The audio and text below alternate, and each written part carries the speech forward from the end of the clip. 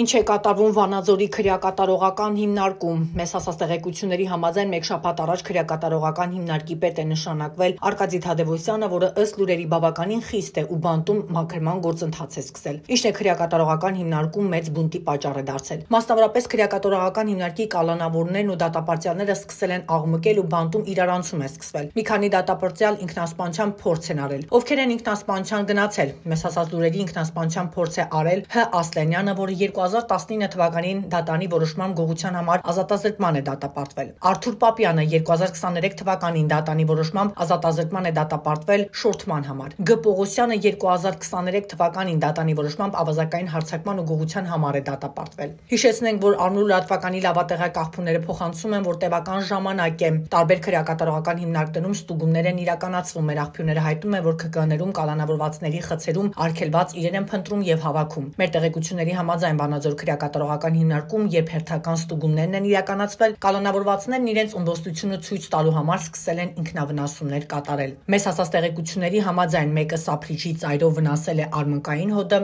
երկուսը կուլ են տվել սափրիչի ծայրը, երեքը կուլ են տվել երկաթի կտորը։ Դեպքով զբաղվում են իրավապահները։